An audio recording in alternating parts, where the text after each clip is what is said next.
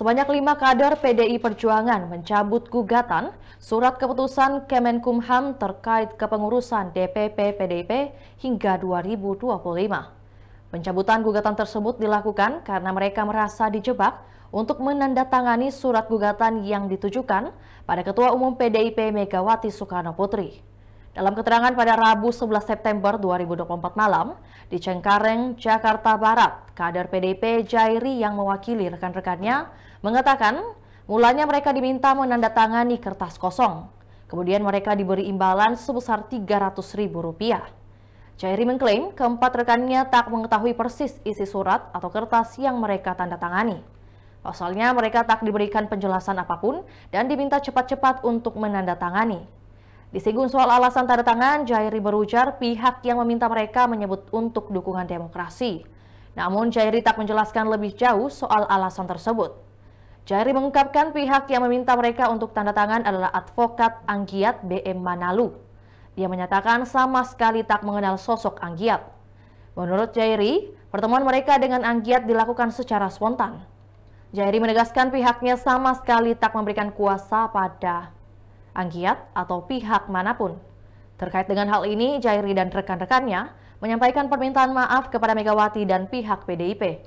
Sebelumnya, lima orang yang mengaku kader PDIP yakni Jupri, Jairi, Manto, Suwari, dan Sujoko mengajukan gugatan kepengurusan DPP PDIP periode 2019-2024 yang diperpanjang hingga 2025 ke PT UN Jakarta.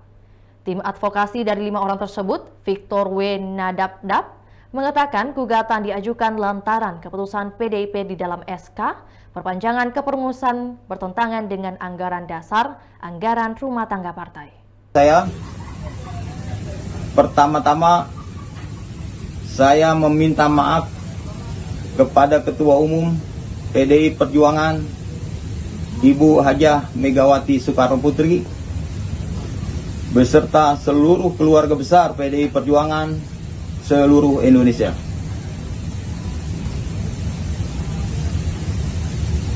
Pada kesempatan malam hari ini, saya menyatakan atau mengklarifikasi bahwasanya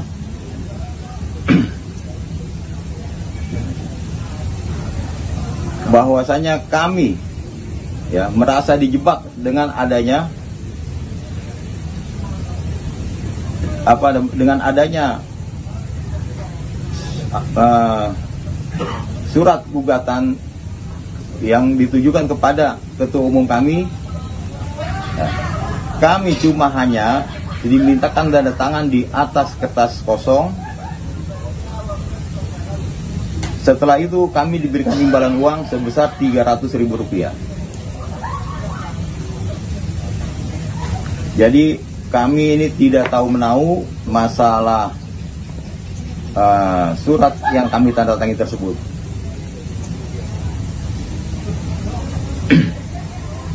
Dan semoga kasus ini menjadi pelajaran ke depannya agar tidak lagi digunakan oleh pihak-pihak yang tidak bertanggung jawab. Saya rasa itu yang saya sampaikan. Sekali lagi saya minta maaf kepada Ketua Umum kami, Ibu Hajah Megawati Soekarno Putri, beserta seluruh keluarga besar PDI Perjuangan. Akhirul kata, Bilahi topik walidayah, wassalamualaikum warahmatullahi wabarakatuh. Merdeka! Merdeka! Merdeka! Izin penegasan kuasa tersebut. Nah, makanya malam ini kita buat surat pencabutan gugatan yang mengatasnamakan kami dan kami tidak memberikan kuasa kepada siapa pun termasuk kepada Anggiat BM Manalu. Kami tidak pernah memberikan surat kuasa.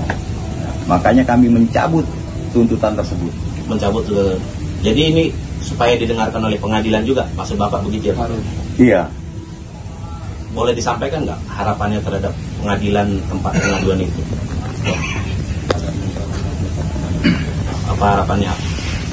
Apakah supaya tidak dilanjutkankah gugatan telah masuk atau seperti apa? Nah, kalau untuk gugatan itu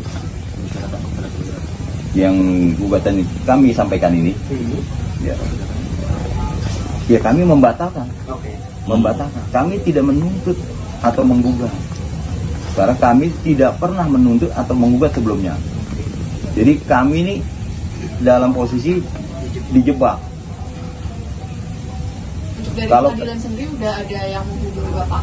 Belum ada, belum ada dari pihak pengadilan belum ada yang menghubungi kami berlima.